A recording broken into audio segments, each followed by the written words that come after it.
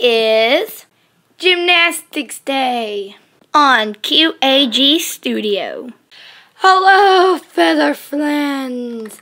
It's it's McKenna, and me and Mabel are gonna be doing gymnastics. Here is Mabel. Hey guys, it's Mabel.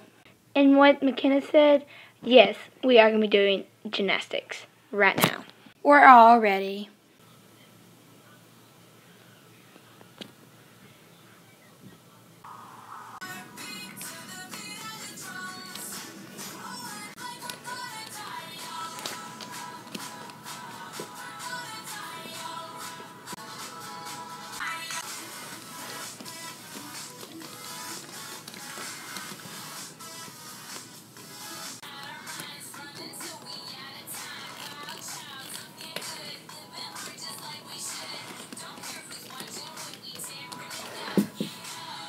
Yeah, we know that was bad, so.